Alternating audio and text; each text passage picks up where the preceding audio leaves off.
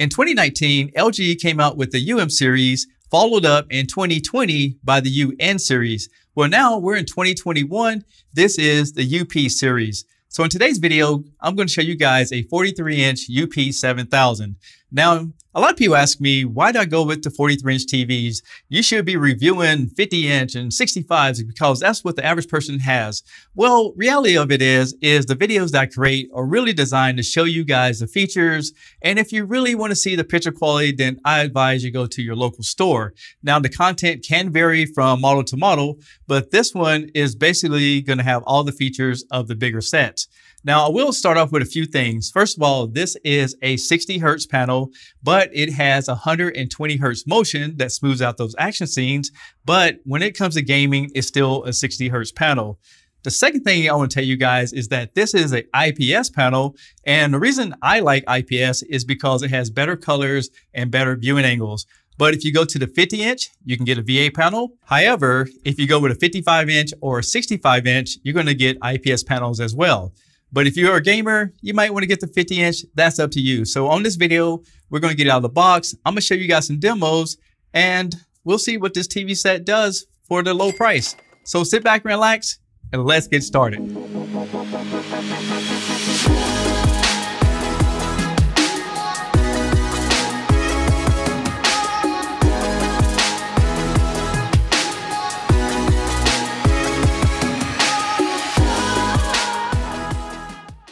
In the box, you get the left and right feet, the instruction manual. It comes with a power cable, and you get the full remote control that has the number pad.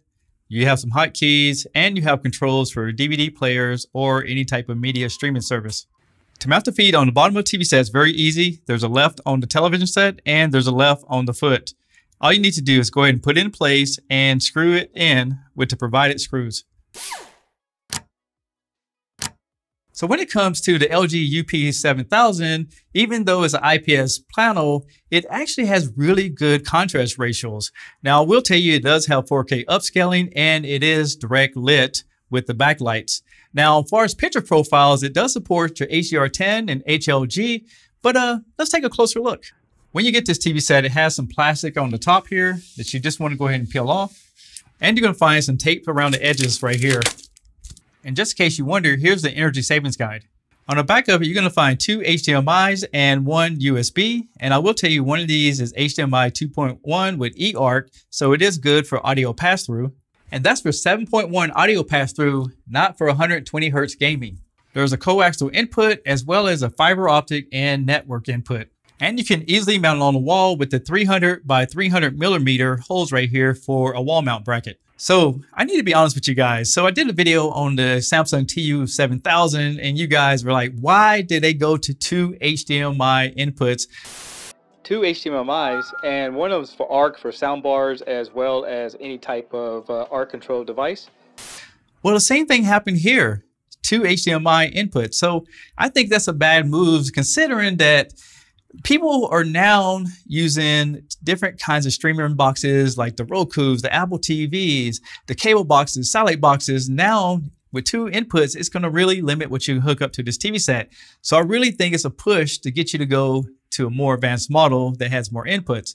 Now, I made a video on this adapter from Orei, and uh, this allows you to have four inputs using one. So in other words, you can take one of these inputs, plug this in, and now you can have four. And it does support the full capabilities of the TV set, which is 4K 60 hertz. But uh, let's keep going with the video. So there's a couple different ways you can set up this television set. One, when you first turn it on, you can use the LG remote control, but I prefer to use the LG ThinQ application. You can use the iPhone to get the LG ThinQ application, or you can use the Android device like this one right here. And all you need to do is just download the ThinQ application and scan the barcode.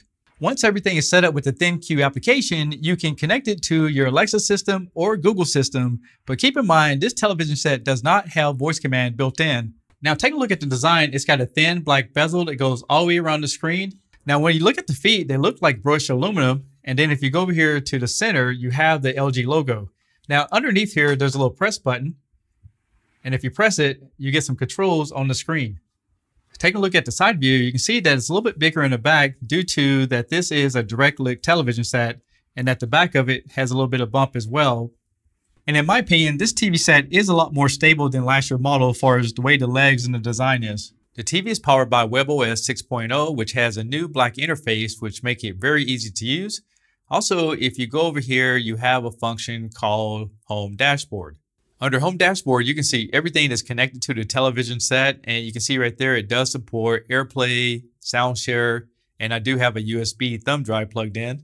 And it also shows the status of the audio. Now, if you have other TVs or other devices connected to your LG cloud, you can click right here and find the different devices like televisions as well as refrigerators or anything that's connected to the LG ThinQ system. Now, if you need to rename any of your inputs, you can hit the ellipses at the top. You can press edit, edit inputs, and with this full keyboard, you can label this to be anything you want. On the home screen, you have LG channels that's available in some regions, but it allows you to have like some type of TV content that streams off the internet. Over here, we have an app store, and it's grouped under feature, entertainment, game, news, and education. Another thing I want to point out is that LG does not require a login to be able to download apps. Now, if you're a big sports fan here in the US, I know it works for sure, there's a sports update alert. So if you go here, you can add your favorite teams.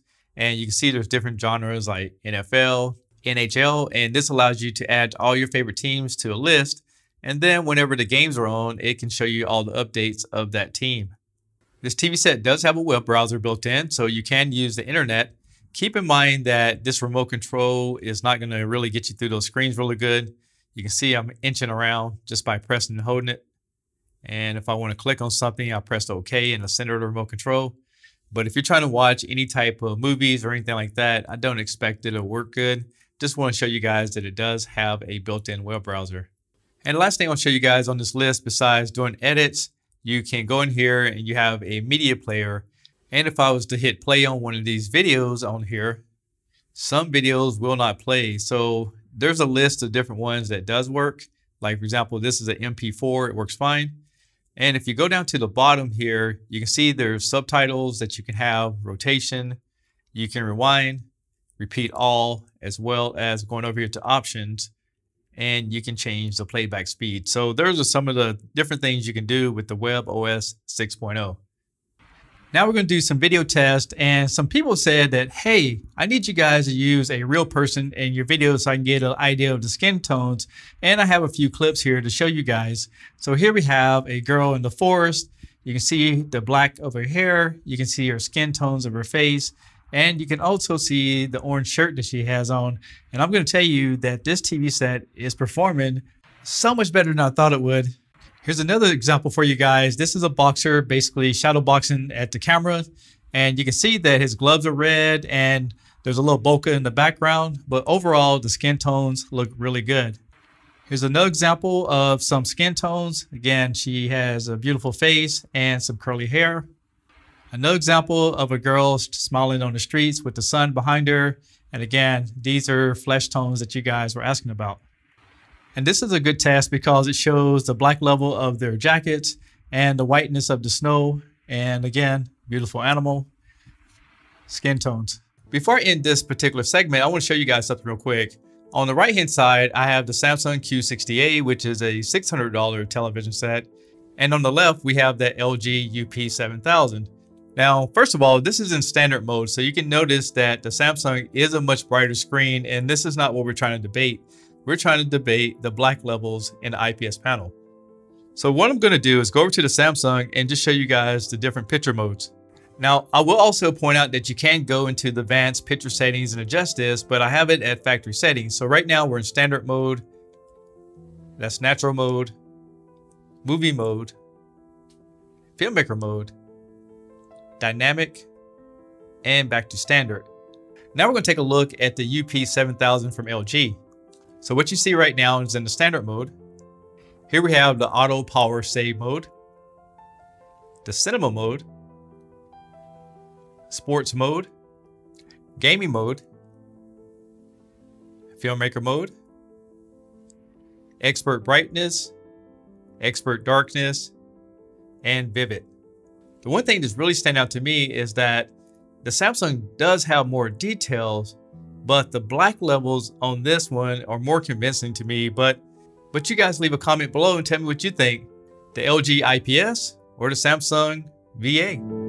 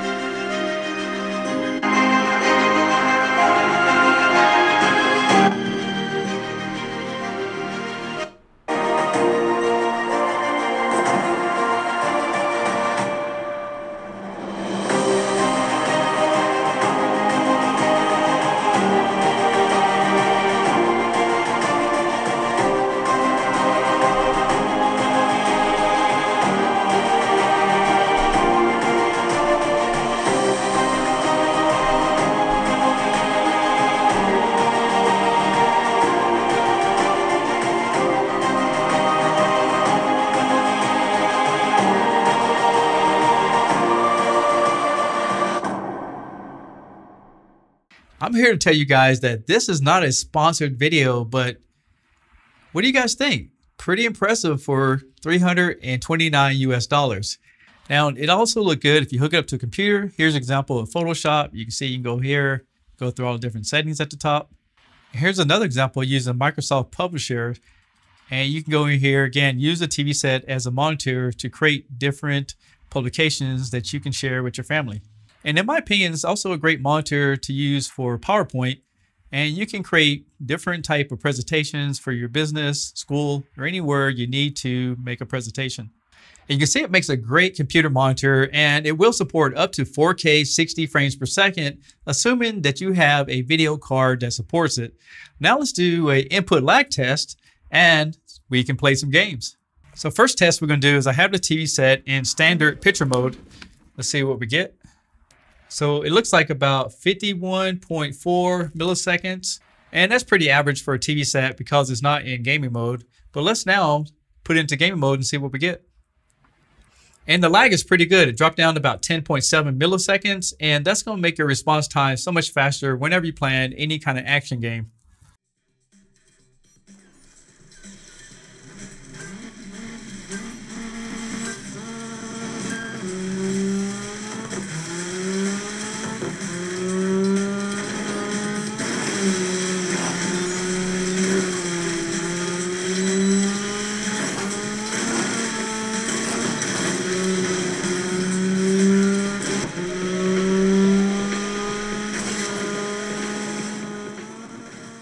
So I would tell you the gaming experience on this TV set is really good considering that it is a 4K 60 hertz screen. Now, a lot of people always saying on the box, I've seen that it said 120 hertz, but keep in mind that is motion. This is a 60 hertz 8-bit panel, so you're not going to get too much more than that.